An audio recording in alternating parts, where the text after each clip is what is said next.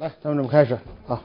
前面的世界古代史的部分啊，简单的了解一下。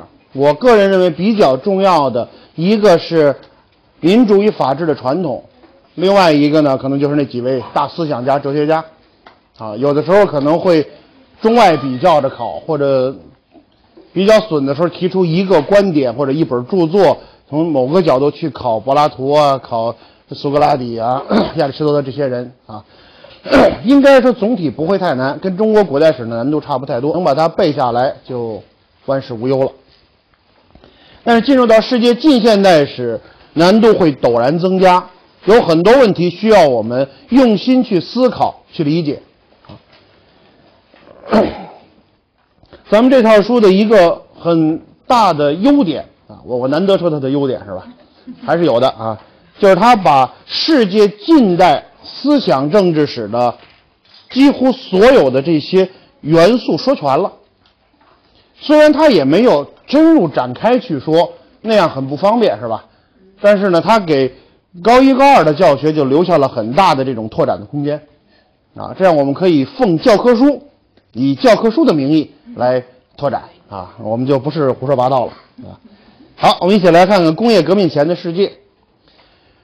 除了古代史之外，一进入近代史，我上来这个题目就是工业革命前的世界。你从这题目就能看出来，在近代史当中，第一件让我们觉得是里程碑式的事件应该是什么？是工业革命，对不对？我这儿就得把这里程碑搁在这儿吧。我把前面这段历史称作叫做工业革命前，后边叫工业革命后。工业革命是发源于英国。或者说是发源于西欧，它席卷全世界的这样一场生产力的或者说经济的、政治的、思想的革命。我们后面会谈，在工业革命之前，欧洲同样也是手工业，没有机器大工业，对吧？同样是手工业的生产，只不过它的资本主义的因素发展的比较完备，资本主义经济。应该说比同时代的中国要强大的多了。我们来看看新航路的开辟。新航路的开辟的原因与条件，有的时候啊，我们在做题的时候，他会考你什么什么事儿的原因是什么，条件是什么，目的是什么，结果是什么，影响是什么，对吧？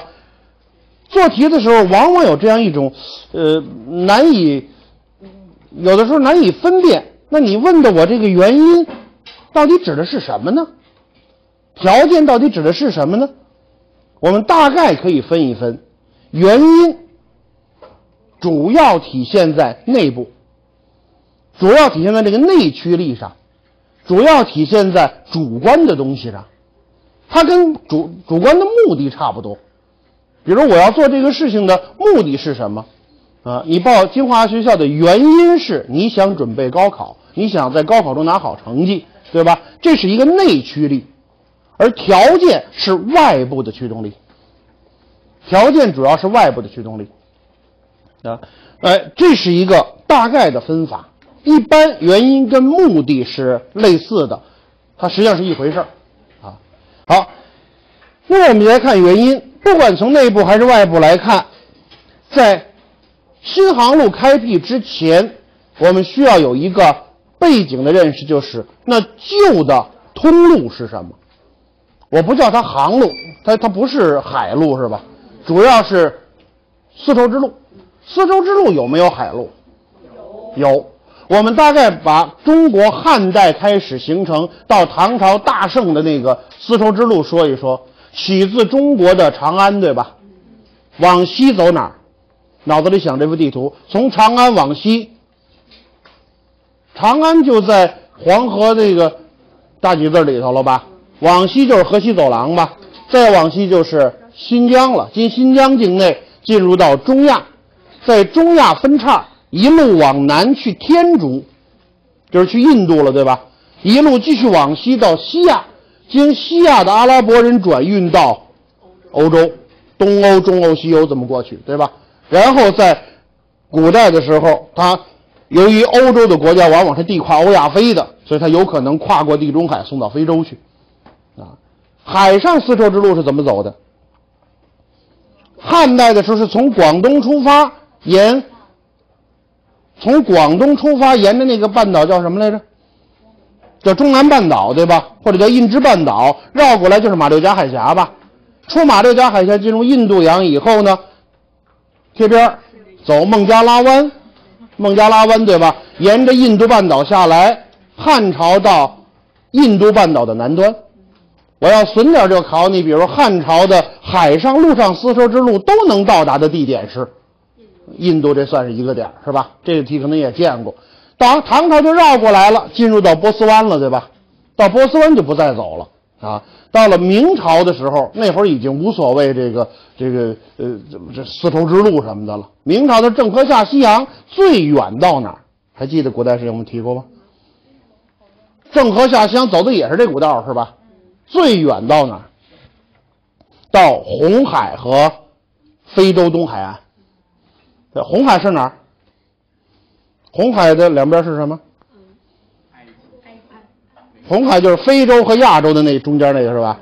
红海现在就是沟通红海和地中海那叫沟通红海和地中海的叫苏伊士运河，但是那十九世纪的事情了，对吧？在没有苏伊士运河的时候，一般人们要到欧洲去走海路，还要绕好望角再过去，对吧？好，我们把这条海上的丝绸之路也稍微复习一下，大概知道在古代东西方交往的这种。要求需求不是很大的时候，这两条丝绸之路，路上的、海上的，基本也就够用了。啊，古代的需求不是很大，但是这两条路，尤其这个陆上丝绸之路，受两个因素的制约，一个是这个特别长，这个路中间可能出问题吧，比如在十五世纪以后，中间就出了奥斯曼土耳其帝国，这是直接导致新航路开辟的一个原因，对吧？还有一个因素就是中国自己的问题。咱们讲中国史的时候，为什么宋朝它的海上丝绸之路就比陆上丝绸之路要发达很多呢？不单是地儿小的问题，那地儿得得寸，那那得合适那块地方。宋朝本身北宋就管不了西北了吧？北宋还能管长安，但是你往西北走，已经归西夏管了，对不对？他过不去了。南宋就更甭提了。偏安一隅的小朝廷，所以到两宋时期，陆上丝绸之路源头被废，对吧？这是一个很要命的事吧？海上丝绸之路还可以，因为宋朝的航海业也是比较发达，特别是这指南针。咱们讲四大发明的时候，这还是管用的，对吧？咱别光想着咱启蒙欧洲人怎么开辟新航路去了，咱自个儿也用指南针，啊。好，把这个想清楚之后，那么当一四五三年。奥斯曼土耳其最终灭了东罗马帝国的时候，他建立了一个地跨欧亚非的这么一个国家，使得西欧受到了严重的威胁。这个威胁不是军事上的威胁，最主要就是商路中断。请你记住啊，奥斯曼土耳其人并没有真正切断商路，人家只不过就是想想收一点点费用，是吧？人家占这么大块地方，收一点过路费也不过分嘛，是吧？反正多少收一点是吧？这还还给你剩一点的啊！西欧就受不了了，西欧就憋着要开辟新航路。那么开辟新航路，我刚才说的这个条件是开辟新航路的必要性还是可能性？你想想啊，我要干一件事儿，必要性和可能性最好都有是吧？那这是必要性还是可能性？我不开，就得不到中国的东西，东方的东西，对吧？我就没有办法从东方来获取我需要的东西，那么这是必要性，这是开辟新航路的必要性。可能性是什么？技术包括造船业的技术，包括指南针的西传，对吧？航海业的发展，啊，这些都是很重要的东西。还有就是原来垄断地中海贸易的那个中转站意大利，啊，现在他们培养了大批有经验的航海水手，啊？没没处用去，啊，在地中海里不够折腾的，上大西洋里玩一玩。好，马可波罗，这倒霉催的，据说来过中国，不过现在还有人提出怀疑，说他压根儿没来过，啊，说压根儿都没来过，因为在中国的古典古籍中记载，马可波罗所说过当过的那些官人家都排满了，没他什么事儿，啊，元朝理论上倒不会讨厌他。元朝呢，把中国人分成四等啊，第一等叫蒙古人，第二等叫色目人。这色目人就有一个解释，说一一种说法是眼睛色儿不一样的，这色目嘛。那，另外一种就是除了蒙古人、汉人和南人之外的其他乱七八糟各色人等都叫色目人。甭管怎么算，这位意大利人肯定是色目人，在中国属于第二等级，也不算太低。啊，按蒙古大汗的脾气呢，给他给他个官当子也问题不大。啊，我们不去考证这个东西，但是他回到欧洲这通忽悠啊。你们知道这位老兄是在意大利城邦战争当中战败被俘受伤。伤口感染化脓发高烧的情况下 写的这玩意儿，反监狱里边也没事干，有一傻缺跟他关一屋，那哥们儿是无限崇拜马可波罗，马可波罗说什么就写什么。你要知道，体温三十七度五以下的能信，三十九度五以上的不能信啊。这老哥什么都敢说，东方遍地是黄金，啊，金砖铺地三寸深。你们见过金砖铺地吗？去故宫看看呀。故宫那太和殿里边，金砖铺地啊，那个那个地砖呐，那那泛着金黄色的光芒，真那叫真叫金砖，但那是像金子的砖，那不是像砖子的金呐，对吧？那日本的房屋屋顶都是拿金砖金瓦盖，他没去过日本，吹吧，总之，马可波罗行记一问世，带给欧洲人的一个感觉就是。到东方去，重复三个动作：弯腰、捡、走，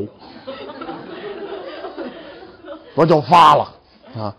我现在想起来，就跟福建那帮蛇头，跟那帮一句别说英语了，连普通话都不会说的老农民，告诉你，去美国遍地都是美元，捡装起来走啊！啊，都偷渡交五万美元偷渡那种，半截还去给踹海里去啊！所以，你会发现。当时的欧洲人对东方几乎没有什么实质性的了解，但是东方的好东西那是真好，所以无限崇拜。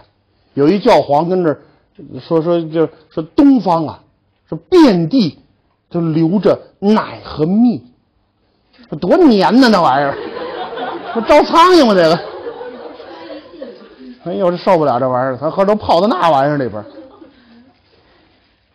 这样的一种忽悠，使得欧洲人极大的增加了对东方的兴趣，要到东方去。他们到东方去干嘛？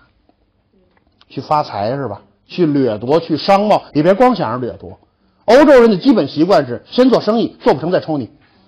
啊，他一般都是先先做生意的，做不成再打。啊，但是他们的目标是什么？这会儿还不到原料和市场，一定记住，这是工业革命前的世界。对对，手工工厂而言，欧洲的原料和市场都够，货币不够。随着资本主义的发展，我们知道资本主义经济一定是商品经济，对吧？这个我们在讲古代时候说过，一定是商品经济，而且必须是商品经济高度繁荣。请你记住，我原来提过，资本主义经济这是是商品经济的高度繁荣体现在什么？什么就叫高度繁荣了？劳动力的商品化，对吧？劳动力商品化是终极目标，也就是说，当你一无所有，只有自由身的时候，你出卖劳动力也能获取货币，对吧？你的所有的生存必需品都是由货币从市场中获得的，对吗？在这样的一个过程当中，希望同学们能够注意，商品经济是发展到一个一个高点的，这是资本主义产生的必要条件。那么，无论我出卖劳动力拿工资，还是我去商场买东西，我都需要货币吧？欧洲人比较傻，他不知道拿点纸画点印点印刷术也是咱发明，他也没想想明白怎么回事对吧？虽然都传过去了，可他不会用纸币，啊，他他不会用纸币。当时他强调真金白银。学地理你也知道，欧洲是黄金白银的主要产地吗？不是啊，那玩意儿主要集中在南非呀，主要集中在南美呀。南美的白银啊、黄金啊，南非的钻石、珠宝、黄金都特别多，是吧？啊，南半球这玩意儿多是吗？八成当时地球形成，那是往那边甩的，都是 这黄白之物，是吧？咱们这边都是苦寒之地啊。反正那东西都在南边。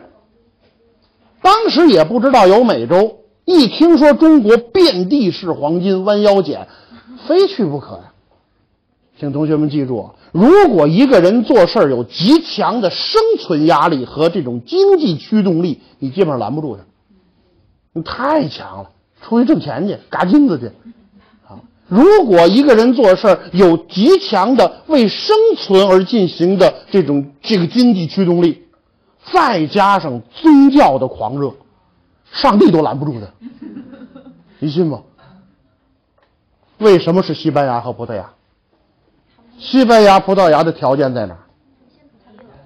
别着急，先从地理位置上说。伊比利亚半岛突出在欧洲的突出部上，对吧？伊比利亚半岛最大的特征是往西是大西洋，往南是地中海。地中海素来是一个商品经济比较发达的地区吧？希腊，咱们讲几几千年了是吧？意大利曾经是东西方货运中心对吧？北非也曾经很发达的，对吧？所以这个地方把着直布罗陀海峡，把着这个地中海的西出口，那么它又临着大西洋，地利，对吧？第二，这两个都是中央集权国家，欧洲普遍实行的是英国式那种等级分封。也就是说，它实际上一盘散沙，其中最散的沙子在在德意志地区，德意志地区四十多邦国凑一块儿，啊，开会都吵得慌，对吧？意大利也是四分五裂，但是西班牙和葡萄牙是相对比较统一的集权的国家。集权统一国家有一个好处，就是它干大活儿特方便，它没那么些乱吵吵的，皇上一句话，国王一句话，它真管用。对吧？你看中国这样就就特有效率是吧？我们有效率好几千年了都，啊，那在这样的情况下，再加上一点天主教，西班牙尤其是西班牙自诩为天主教的护卫国，跟法国一样。有时候法国说我们是天主教的护卫国，西班牙还不乐意呢，啊，天主教那大家都是出来护护的。今天你看吧。教皇要跑到美国去，也有人理他是吧？但是多乎哉不多也。教皇在欧洲转悠吧，大家基本就看个热闹。到西班牙你看看，比看斗牛的还多，万人空巷迎接教皇。法国实际上，因为他现在非常自由开放，所以他的基督徒也不大买教皇的账，他也有天主徒，但是西班牙几乎绝大部分是天主徒。啊，在天主教的这种支撑下，天主教。出什么事儿来着？在新航路开辟的一四八几年、九几年了吧？十五世纪末了吧？天主教是不是有点儿不是松动的问题了？这会儿咱们还没讲的那个文艺复兴已经开始了。文艺复兴是十三、十四世纪开始了，对不对？一般说官方说法十四世纪开始的。那这会儿文艺复兴已经开始了一一两百年的时间了，对不对？所以对天主教的冲击已经显现。我们后面会提的宗教改革，在一二十年之后就要开始了，对不对？那你就会发现天主教的威风不在，而天主教秉承这个基督教的传统，它有一个根深蒂固的信仰。基督徒相信自己信仰的这上帝是普世的。所谓普世，就是说，那我们我们所有人都应该信上帝。东方人有黄金没上帝，我们有上帝没黄金，咱们换换啊！他们就想到处去换去啊！你知道现在还活着的一主，一个非南非的一个大主教叫图图，我黑黑遗了那哥们儿啊！图图大主教有两个重要的，就是一个名言：第一句，上帝是黑的，就是我们家上帝是黑的，管着吗？啊！第二个就是。若干年前，白人带着圣经来到了我们这里。我们有土地，他们有圣经。现在我们有圣经，他们有土地。这赤果果的抢嘛，就是。啊，传教的动力，获取财富的动力，这都是人冒险做事儿的极强大的推动力。而新航路开辟，如果既有其必要性，又有其可能性，它既有主观的目的原因，又有充分的条件在的话，这事儿几乎是一定要发生的，而且发生以后的成功率是极高的。啊，我们来看看西班牙、葡萄牙，大概把这个这个路啊想一想就行了。我不想特别多的去去说地理方面的事儿，那几个关键点你要知道啊。最早进行探索的是西班牙还是葡萄牙？西班牙，他们几乎是同时开始的，是吧？最早取得成就的，葡萄牙的迪亚士吧。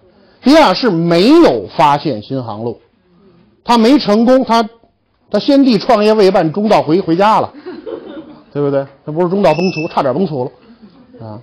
迪亚士贴着非洲的西海岸一路向下数黄花鱼的贴边走，对吧？一路船头朝南走，对不对？船头朝南，朝南，朝南，朝南，突然遇到大风暴，刮晕了，在海里边转陀螺玩，转了四万多圈以后。发现太阳从自己的右舷升起。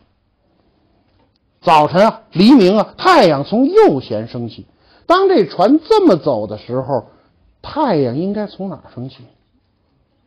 这是船头啊，往下走的时候，上北下南左西右东，太阳不会乱串悠是吧？每天太阳都是从左边升起，转了四万多圈以后，太阳改从右边升起了。太阳晕了是吗？船掉头了，绕过了好望角，对不对？那时候不知道那叫什么角，绕过这旮旯角掉头了，啊！哎，这个迪亚是非常兴奋，掉头就说明我有成功的希望了吧？下命令前进，发现手下的水手不怀好意的看着他，那帮水手发出了最后通牒：回去，要不然弄死你。那水手对船长都是这么尊敬的，你知道吗？那船长很很客气的说：“那就回去吧。”回去了，回去跟国王说：“这这风暴角吹晕了，转陀螺似的啊！我们圣这圣斗士搁那转啊！你看这个人是个消极主义者，因为他给这个地方起名叫风暴角。啊，葡萄牙国王是一个乐观主义者，这这个角不能叫风暴角，一定叫 The Cape of Good Hope。The Cape of Good Hope。叫好望角，这地方现在还叫好望角，啊，这上个月有一个来自南非的顶级中学私立中学到四中来访问，然后我就跟他说：“我说你们离那好望角有多远？啊，不远，呃，这个四个小时的车程。嗯，你要来访问，一定我带你去好望角，啊，我说这个可以考虑吗？啊，我们还没有到非洲去过啊。这个地方叫好望角，可以给葡萄牙人带来好运，对吧？继承迪亚士。未死之一志的，他后来也没取得什么实际的成就，航海业就死掉了啊。那个人叫达伽马，达伽马就绕过去了啊。达伽马绕过好望角，就进入了印度洋吧，穿过了非洲大陆和马达加斯加之间的这个海峡，进入到印度洋，最终到达印度半岛西部的有一个地方叫卡里库特。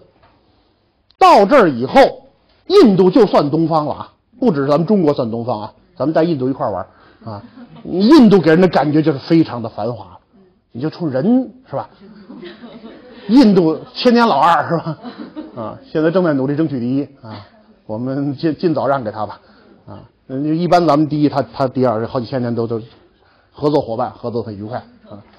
到印度以后，发现极为繁盛，呃，到这儿把运过来那点烂货全卸了，装了三船香料。印度那地方有香料，你们知道什么叫香料吗？有花椒大料，嗯，对，意就就是欧洲人炖杀一个动物，然后炖完肉以后，他没冰箱，所以天天吃臭肉，吃臭肉就得往里搁香料，搁香料是遮臭味的，啊，你你你们都不知道这事儿是吧？你要出去吃麻辣烫去，你会发现越便宜的麻辣烫搁辣椒越多。为什么搁辣椒多？干嘛？遮臭味儿啊！你你不信？你将来上大学，现在没那闲工夫。上大学你做一研究，你就世界上吃辣椒的地区分布跟世界 G 就是地区 GDP 的产量基本上成正相关关系。啊，而且成负相关嘛，就是这这 GDP 越低，他吃辣椒越狠。啊，为什么？那那东西它它它 strong 啊啊，嗯，这不非常的非常 spicy 是吧？这样它可以下饭，啊，它不用吃菜，你知道吗？一般来讲，就中国最富有的地方是什么地方？东南沿海，东南沿海玩命吃辣椒吗？没有，对吧？中国最穷的地方，比较穷的陕北，四川其实总体不算穷，但是呢，也也也够可以的，对吧？你像这重重庆的地方，啊，江西、湖南，这都不属于什么特别发达的地区，对吧？世界范围内世世界辣椒之都墨西哥，那美国人就没什么没那么些辣椒，墨西哥成天搁那咔咔咔，那东西是遮味儿用的，啊，你真的你不信你就仔细看，所有学校的食堂都爱搁辣椒，为什么？它可以买臭肉，啊，这个事情我没有调查过，所以不能胡说八道，啊，但是这基本上是一个将来开饭馆的一规矩啊，好。嗯，你你能能能理解就行了。你看大街上最便宜的馆子，基本都是川菜馆。你不信？你看那什么麻辣烫，什么是什么什么那个那个成都小吃啊，成小什么的那东西。我们我们亲切的称它为成小啊。你你从来没看见哪个广州馆子是是是或者是潮州菜啊？潮州菜卖份饭的，没听说过啊。大概知道就行。欧洲人也这德行。所以他对香料有一种畸形的渴求，欧洲基本上不产香料，对吧？从东南亚、南亚这个地区把香料运回去，你知道达伽马这一趟赚了多少？这一趟回去晃晃悠悠，这这艘破船回去以后，除去所有的航行开销，包括请大家记住啊，包括这个呃死亡水手的抚恤金全算上，把所有的账目清零之后，达伽马发现自个儿赚了六十倍。赚六十倍，我也去，那么又能传播上帝，又能赚六十倍。马克思同志曾经这样教导我们啊，大师说过，说资本呐，这资本如果有三倍以上的利润，资本家就会豁出性命去干，六十倍死二十遍我也干，对吧？出去还不一定死，死顶多死一遍，所以这事稳赚不赔的事情啊。那这个欧洲人疯了似的就就就走。当然，葡萄牙人开辟的新航路，葡萄牙人要要控制，对吧？西班牙人急得 天天上火，去火药一天吃一百多斤，那怎么没我们事儿？找人要人家也不给。那西班牙人有志气，我们自个儿开，而且绝不跟你们开一样的。我不让你倒霉催的好望角去。我们有一个新的理念，叫向西，向西，再向西就是东方。这理念一定是，一定是什么理念？地球是什么样的？圆的。地球原来是方的，不是？地球原来在人们心目中是方的，中国人原来也认为地球是方的，对不对？天圆地方，圆如方指啊。说人是是天的这个这个合理的反应，脑袋是圆的，证明是天圆；脚趾头盖是方的，什么是地方？啊，咱中国人思维也相当奔放的，是吧？古代人、西方人也认为天圆地方。天圆地方的一个感觉就是地是一大平坡，你知道吗？一大大平子这么一面你往西往西再往西就到大地的边缘了，裤衩就掉下去了，掉下去就是地狱了，啊，这这这这这呱掉掉下去，所以不主张你们往西边跑，怎么可能往西往西再往西就到了东方了呢？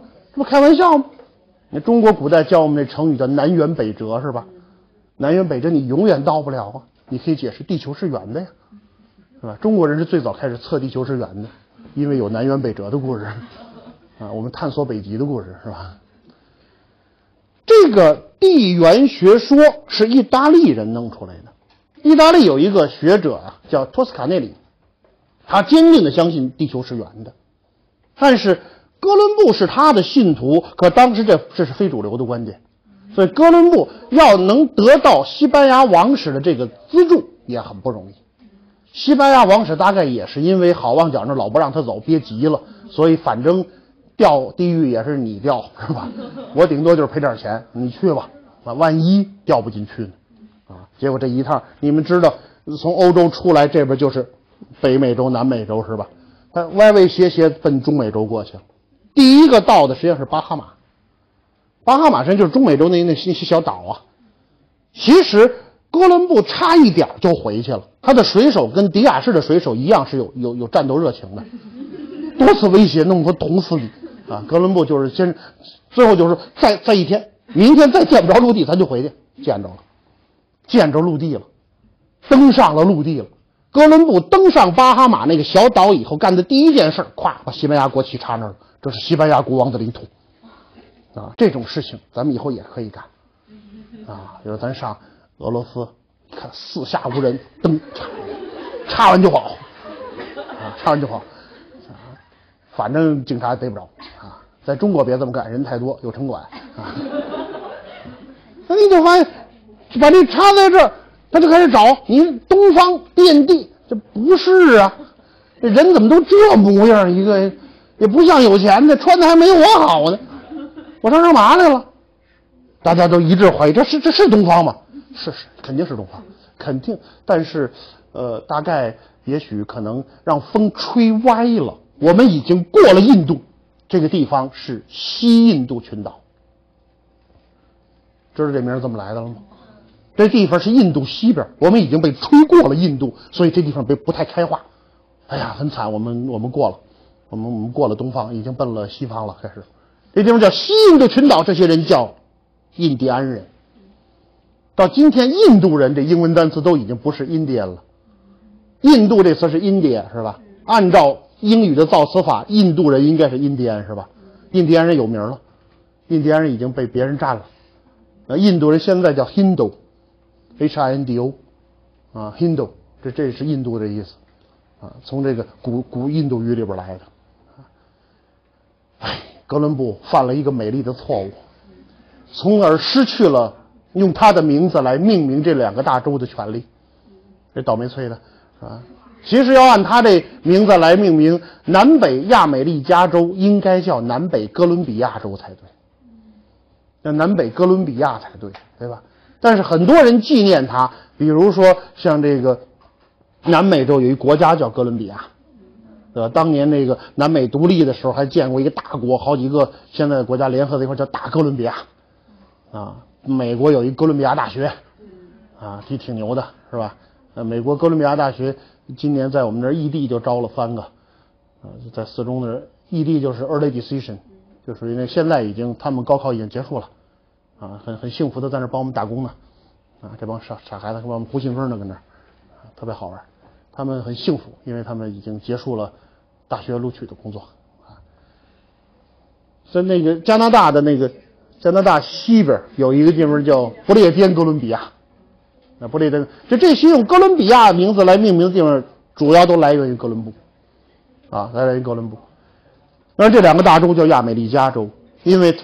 给他证明的人是意大利航海家亚美利哥，啊，没办法，哥伦布后来被认为是个骗子，因为他拿弄了好些钱到这儿去，一点香料也没带回去，啊，没有发财。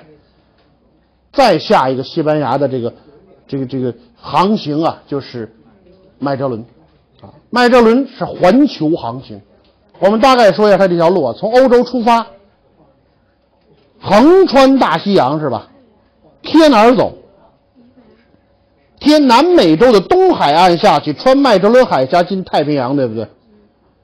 进太平洋的时候，麦哲伦这船队刚被大西洋蹂躏过，都快碎了，晃悠悠就进了太平洋。唰，这大洋这个平啊，这个安静啊，麦哲伦就叫太平洋，这就叫 Pacific，Pacific 就是和平、太平的意思，就 peaceful 的意思嘛。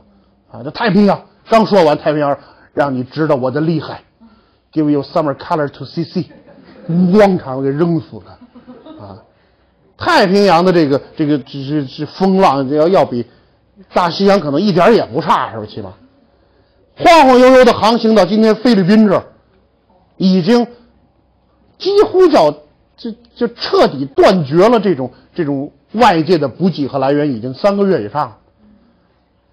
到了菲律宾这儿，发现当地土人跟这打架，人麦哲伦都都瘦成那模样了，还下去主持正义，你知道吗？啊，我给你调解一下。人一看，哇，山妖啊，这是，俩人兄弟戏于墙，共御外侮，我捅死了。啊，那原来也有人考过这题，就是一个麦哲伦的雕像，一个捅死他那哥们雕像，俩人背对背站一块儿，你知道吗？在菲律宾这个伟大的国家，这是一个政治考过是吧？哎，历史也有类似的题目，它实际上是让你在分析一种殖民者或者新航路的开辟者与当地民族之间的这样的一种不同角度去看问题。啊，原来哥伦布也是历史有一道题考过，呃，就是西城区一模题吧，考过，说是那个呃，就是美洲纪念哥伦布日，把它当做一个美国的国家假日。然后南美的一傻哥们儿，一著名的一傻哥们儿叫查韦斯，大家知道吗？这都不知道，世界著名的两大搅屎棍子之一，一个是委内瑞拉总统查韦斯，一个是伊朗总统内贾德。这哥俩生存的唯一目标就是给美国添恶心。美国怎么恶心我们怎么来啊！给你添恶心是我最大的人生乐趣啊！查韦斯曾经就公然宣称说哥伦布是一个强盗，是个坏蛋什么反正因为哥查韦斯本人就有这个印第安人的血统啊，所以你要知道不同的角度评价同一个历史事件是可以得出完全不同的结论的。咱们讲中国时候也说过好多这种事儿了，是吧？好，不去多说他。麦哲伦撂了，这真办中道崩殂了，这个。是吧？先帝创业为办，吓得那帮船员撒丫子就跑啊！他完全无法想象，老大让人给撂了之后，自己会不会一块多少人给撂了？当地的土著太血腥了，跳上船，最后晃晃悠悠回来了，啊！接着就是我说的那个，只有出马六甲海峡再转出来那那条道，最后回到欧洲的时候都没人模样了，跟甲方乙方偷鸡那哥们似的，没有。混成那模样了都，因为他们在航海日里写的很清楚，航海日志里边明确写到说船上公开卖老鼠、耗子，耗子是生鲜产品，一只耗子半个杜卡托金币，一种西班牙金币啊，半个金币一只耗子，这大概是历史上最贵的耗子啊，这玩意儿连那样的耗子都买不着，脱销了。这环球航行饶上麦哲伦一条命的环球航行，证明地球是圆的。考他怎么考？最损的考法，一张有美洲和世界地球是圆的一张地图，对吧？能证明那玩意儿，那那就是环球的，就是圆的。那必须是在麦哲伦之后，对吧？啊，呃，别信有一英国一傻哥们儿说说。一四二一年，郑和发现了新大陆。啊，那哥们大概是无限崇拜郑和。啊，他说郑和发现了新大陆。啊，一个英国人这么说，让中国人很欣喜。啊，我们一般很谦虚的说，哎，这还可以考证吗？是吧？啊，中国人要发现了新大陆之后，还没去殖民，这就太丢人了。啊，所以还是还是让西方人去发现吧。好。新航路开辟的经过，并不是特别重要的东西，但是你要知道，如果跟地理结合起来，还是有可能会考到一些小东西的啊。最终两个国家四波人，两成两败，每个国家各有一成一败，对吧？但是呢，完成了对新航路的这个开辟，使东西方最终更加紧密联系在一起，是吧？而且发现了南北美洲以后，有一个重大的成就，就是亚洲、欧洲、非洲从来就是一金三角，是吧？这是可以进行商贸往来的金三角，加上北美、南美，除了澳大利亚之外，南极，南极就算了，南极除了企鹅没什么活物，是吧？澳大利亚倒是有几个人，主要是毛利人，对吧？红种人啊，那那个。英国人没去之前，澳大利亚基本上可以忽略不计，啊，而这五个其他的有比较多人口聚集的大洲被联系在一起了。那原来有一种说法有争议，但是呢也可以接受，就是所谓世界市场的初步形成是从新航路开辟开始的。那么我们应该这样去看，就是世界市场这个东西，它要真正想形成，它必须是在工业革命以后，对吗？为什么？市场如果说新航路以后，我不这些地儿我全有了，是我连上了，那不就有世界市场了吗？没有商品。对，只有市场没有商品，那个市场是空市场，对吗？你上商店去，发现架子都是空的，那叫商商店吗？它还得有足够的东西才行，对不对？所以，如果你要看到题目中说新航路开辟标志着世界市场的初步形成。不能说它错了，但它至少是雏形，或者说是一最开端。世界市场的最开端是从这儿。当年的人们完全不知道什么叫世界市场，这个概念真正形成一个有意义的概念，必须是工业革命以后。好，能清能记清楚这事儿吧？新航路开辟的影响，请大家想想啊，这条新航路一出来，原来我的学生给我出过一道题，有几个人不满意？我原来可能提过这题是吧？有多少人会对新航路开辟不满意，或者有受到利益受到损害？你你说，我们一个一个说，欧洲有哪些人呢？旧的贵族地主对吧？因为有价格革命、有商业革命，使得他们的封建势力受损了，对吧？哎，欧洲封建势力受损了，非洲的黑人受损了吧？美洲的印第安人受损吧？再加上呢，意大利人受损了，意大利人丧失了这个航海的嗯领先国和贸易中转站的地位，对吧？另外就是奥斯曼土耳其。对，土耳其这中转收费站没人去了，是吧？有旁边小道了啊。那么你要仔细想想看，这些实际上都是新航路开辟的这个影响。说到商业革命和价格革命，我们首先要提到商业革命有两重意思：第一是商贸范围的扩大，这不用解释吧？原来就是亚非欧，现在呢多到了南北美洲，甚至世界其他地方。所以商贸范围急剧扩大，另外一个就是商业中心的转移，从哪儿转到哪儿去了？地中海到大西洋，意大利为中心到西班牙、葡萄牙、英国、法国、荷兰为中心，对吧？大西洋沿岸诸国因此而崛起。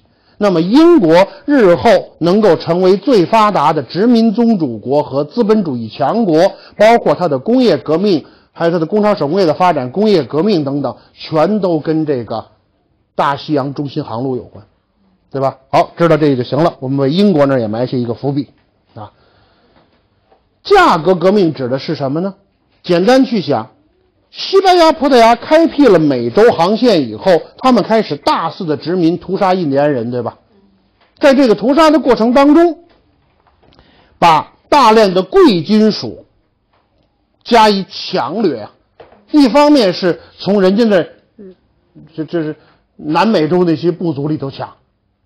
你要知道，在南美洲的这些印第安人部落当中，因为没有发达的商品经济，所以黄金白银不是什么了不起的东西，对吧？那东西它贵金属，它就觉得我造一金屋子又管什么用？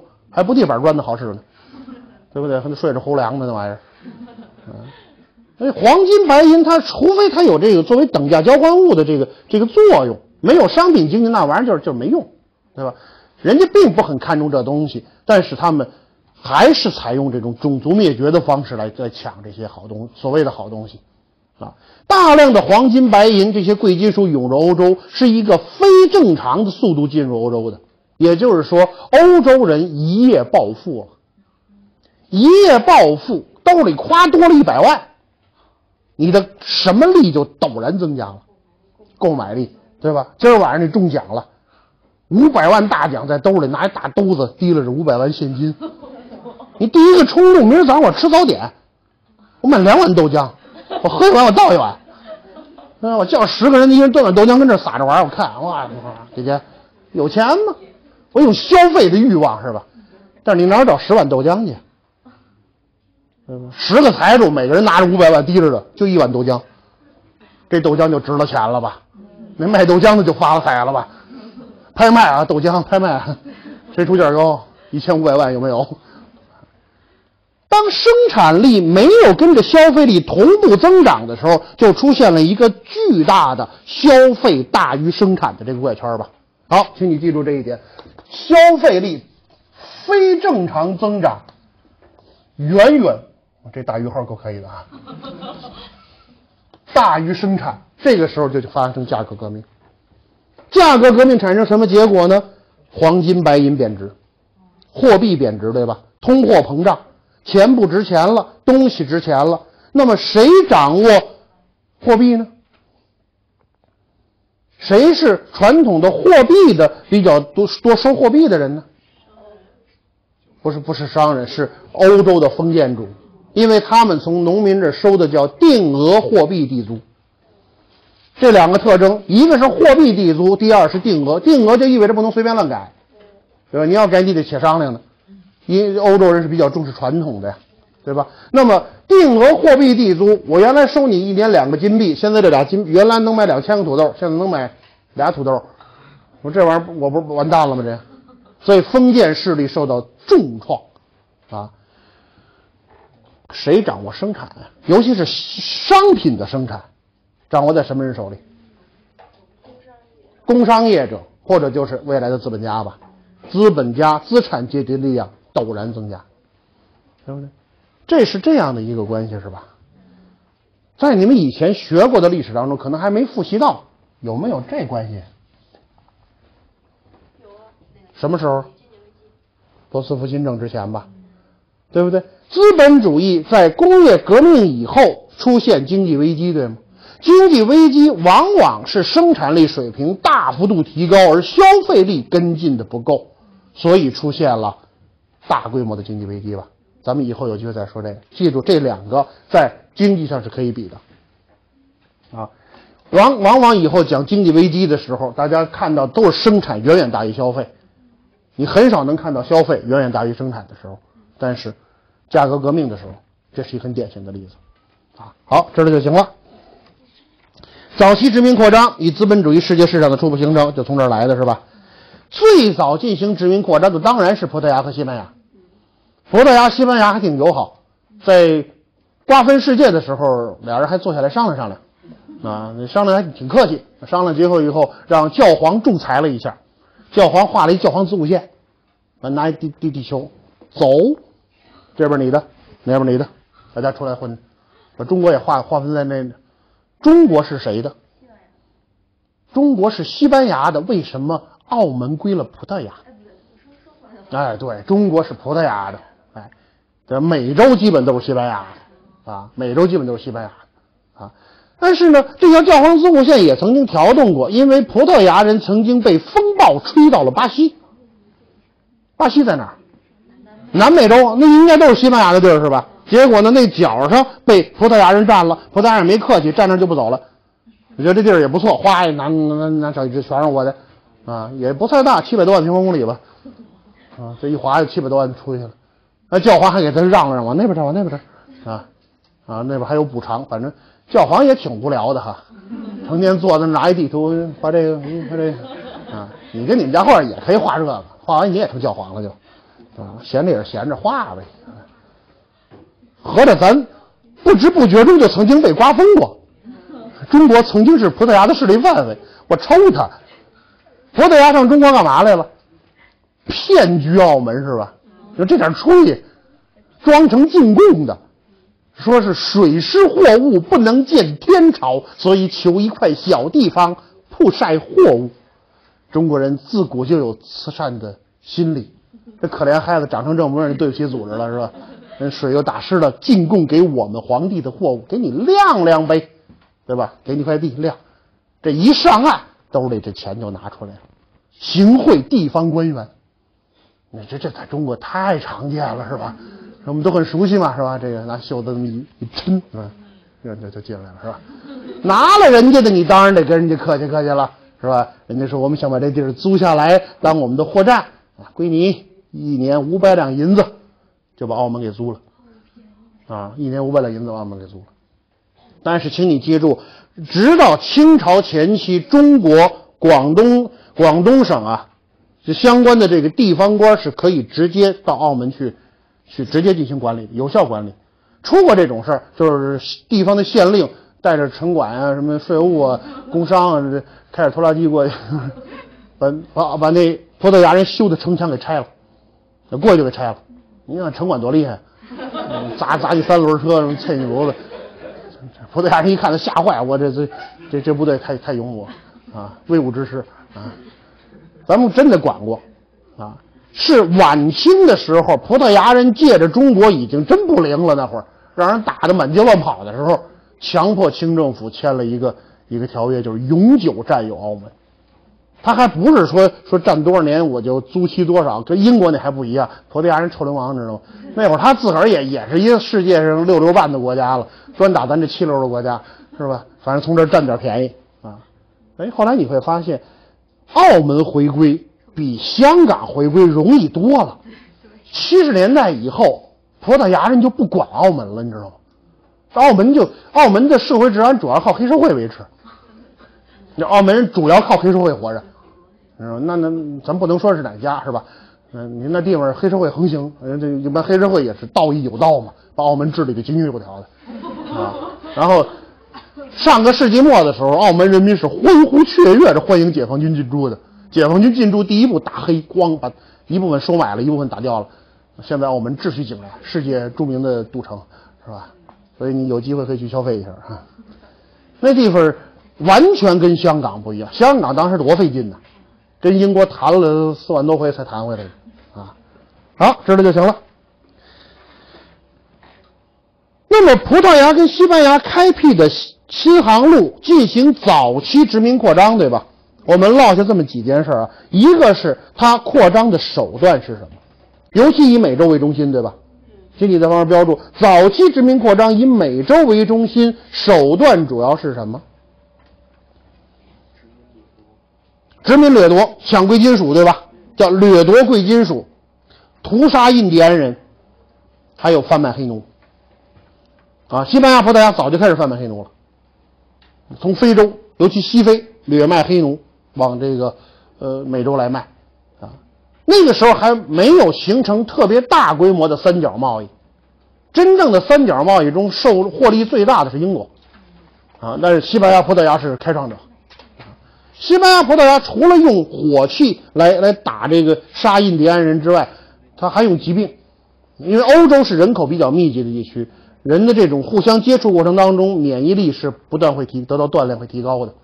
美洲的原始文明啊，死就死在几千年跟外界没接触，一旦开门，免疫力奇低，啊，免疫力奇，那地方忒干净，你知道吗？他连人都没有，更甭提污染了就。没什么人都，嗯，这一个在欧洲很流很普遍的一个感冒，咳咳嗽两天就好，到那儿一一村一村死，啊，西班牙人看出好处来了，就把这病孩裹裹的被窝就送给印第安人，印第安人很高兴，办拿回去给自个儿的孩子裹，那时候一村就死光了，一宿死死一村，啊，这玩意儿受不了这，啊，你你别你这有人看着眼光看着可能吗，那太可能了。你将来上美国、上上欧洲或者上加拿大、澳大利亚，就比较干净的地方，你待上两年吧，多了朋友，两年之后回到中国，第一件事是生病，你将不适应我们伟大祖国的空气，你知道吗？我这次坐飞机回来，我边上坐着一美国人，拿着那，你们知道 iPhone 有一个特别好玩的功能，可以下载美国大使馆那那那数，啊，咱们那时候。那天我赶上大雾，咱们报一百九十二，就一百九十二属于轻度污染吧？人那是三百九十多，他们报三百九十多是红线，红线叫个 very dangerous，啊，到五百就不适宜人类居住了，啊，那咱咱们跟人家数根本就是差着很多很多的啊。那么我原来在加拿大也这样，在加拿大有一次，我们全班同学都感冒了，吭咔的弹奏之声是吧？听取蛙声一片那个。敌人围困万千重，我自岿然不动。他们都想传染我，没戏。我什么？我什么空气里长大的？我我我那硫化煤各种各样的烟儿，我我什么？我喝什么水长大的？是吧？所以你看，再加上我这肤色，你说咱这色儿，一去白人无限崇拜我，你知道吗？哇！这练的这厉害，这身体这棒，这块儿这个儿好多人邀请我参加俱乐部，我不行，你知道吗？打不过人，我一般就啊，这个东西不好玩嘛，啊，我就我就不参加，是吧？参加就露馅儿的，但是身体倍儿棒，吃嘛嘛香。嗯，我这人这说讲课多，一般每到冬天咳嗽一个月，我到加拿大去就咳嗽过一回，还是让水呛的。啊，怎么真的这个干净的让人让令人发指，你知道吗？干净的令人发指。所以美国人有的时候你觉得特别不规矩，就是他他他坐在当然是自己的地盘里边，他愿意把脚丫子搁桌子上。你你中国你搁一我瞧瞧，咵一地一桌子土，你知道吗？美国没有，你把脚丫子搁桌子上没土，真没土。就是走路，这地上全是青草，全部都把那土都吸住了。呀，大风扬尘，开玩笑嘛。后来我想清楚一点，为什么我们伟大的祖国有这么多问题？那是因为国家爱你们。将来爆发化学战争、生物战争、核污染的时候，全世界人民都死光了，我们还活着。所以你看，日本人特别怕核泄漏，是吧？中国人不怕，无无无所谓，不不惧那个，买点盐嘛，吃二斤盐全好了。当年的这种状况，欧洲跑到美洲去，那基本上就就这种。这种感觉，所以这传染病大幅度流行，印第安人哪扛得住这个？印第安人没见过火枪，没有火器啊。印第安人没见过马，这马是是欧洲人引进去的啊。但是从印第安人手里边，欧洲人也带出了好些东西吧，比如说玉米，比如说甘薯，就是白薯，对吧？还有还有辣椒，那还有辣椒，腌臭肉那玩意儿也管用那个。啊哎，你会发现，如果你要有一些基本常识的话，你大概不会犯，嗯，就是比较比较有学问的错误。你看过金庸写的那个小说，写那个《天龙八部》里边，说那段誉他们一帮人走从四川走过进云南的时候，隐隐空气中都漂浮着一种辣味儿。开什么国际玩笑？辣椒是清朝初年才传入四川的，传入中国的，那东西根本当时还在美洲生长着呢。对吧？所以，如果你说吃四川人吃辣椒是因为什么地理原因、气候原因，那没辣椒的时，四川人早死绝了。四川人吃辣椒也不过就是三百年的历史，四川有人可好几千年了，好几万年了都。花椒也不是中国原产，主要产在印度，就是东南亚地区。啊，所以，请你要知道，如果我们要做一些，就是。这种历史的应用题的话，有的时候它也会考你这种应用的能力，啊，呃，原来就是一种基本训练题，高考题倒没没出过。基本训练题，比如说考你，就是说三国的这个这个，是曹操的书房里挂着沁园春雪，啊，嗯，是吧？曹曹操热爱毛主席是吧？好，不说他了。参加早期殖民扩张的，除了西班牙、葡萄牙之外，最主要的就是英国、法国、荷兰，其中荷兰是比较早的。这么说吧，十五世纪末到十六世纪初开辟新航路，对吧？十六世纪一百年属于西葡，十六世纪基本上就是这这老老哥俩的事儿。十七世纪是荷兰，十八世纪以后是英国。英国和法国吧，法国一直当千年老二，啊，跟后边狗颠屁股事追着啊，一直没追上。但是呢，它也是殖民大国啊。这十八、十九世纪基本是英法，啊，二十世纪以后归美国，是吧？好，二十一世纪，是吧？城管。我们来看看荷兰。荷兰，请大家记住，它是世界上最早的资本主义国家。请你记住啊，它的那个荷兰的那个尼德兰革命。有双重身份，一重是尼德兰地区所谓这个低地地区啊，从西班牙的殖民统治中独立出来的民族解放运动；另外一个是资产阶级革命。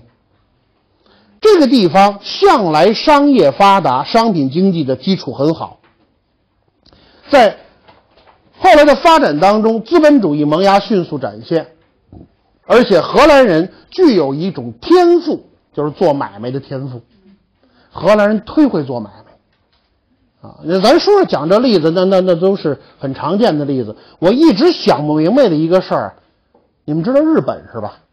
日本在明治维新以前，或者说日本近代开国以前，它跟中国一样是个闭关锁国的封建国家，呃，但是呢，除了中国人能去之外，只有一个长金毛的能去，而中国人不是长金毛的哈。就世界上只有一种长金毛的能去，就是荷兰人。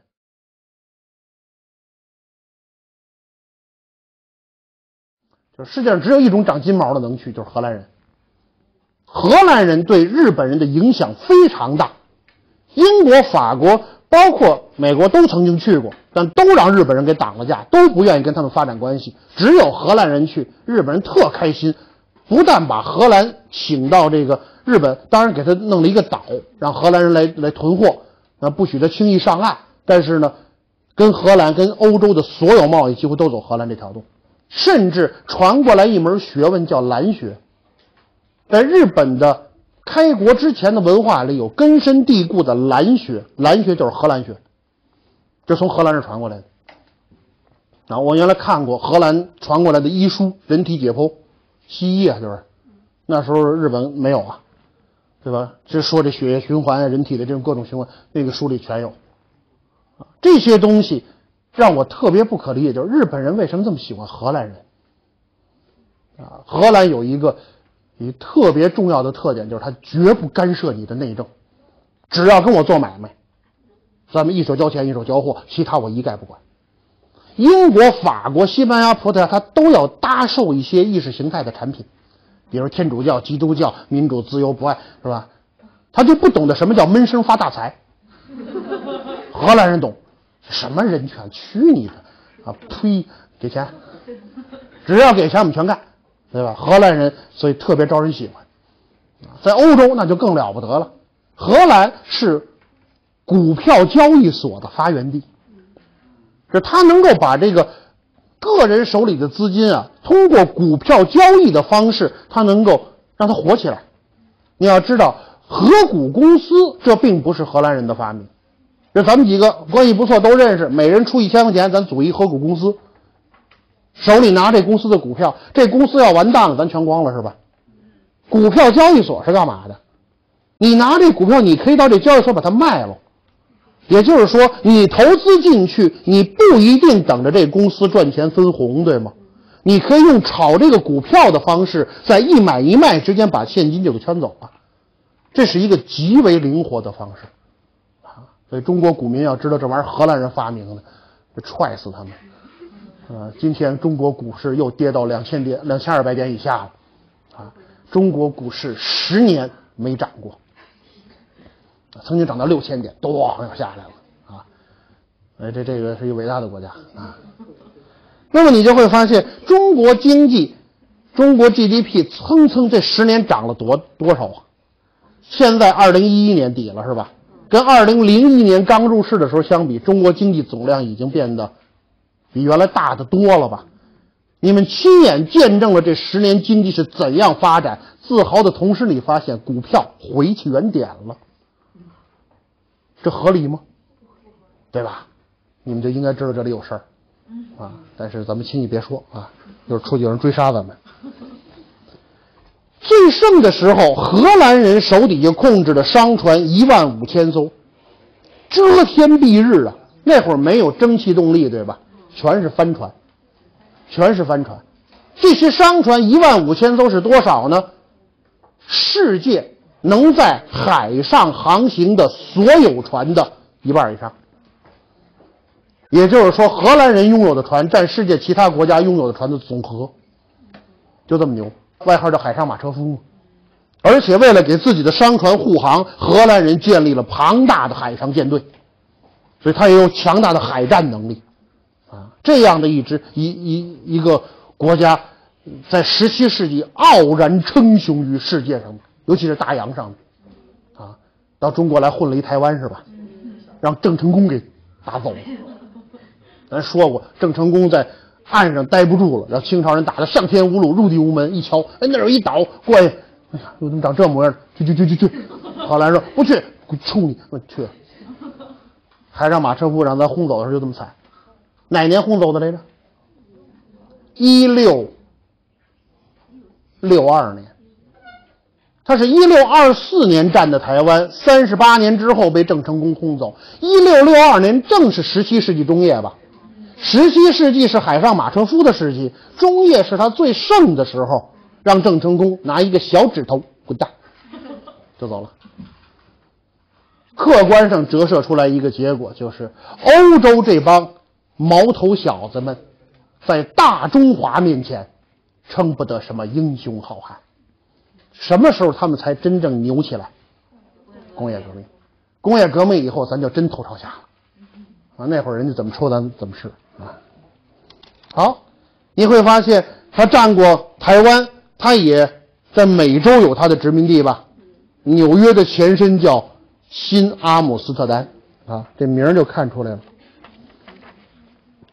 英国，英国有地利啊，它本身处于大西洋的航运中心线上，而它的造船业、它的航海业都是很发达的，而英国人是后起之秀，对吧？他跟荷兰人有一个巨大的区别，荷兰的商业极为发达，以至于荷兰人忽略了工业。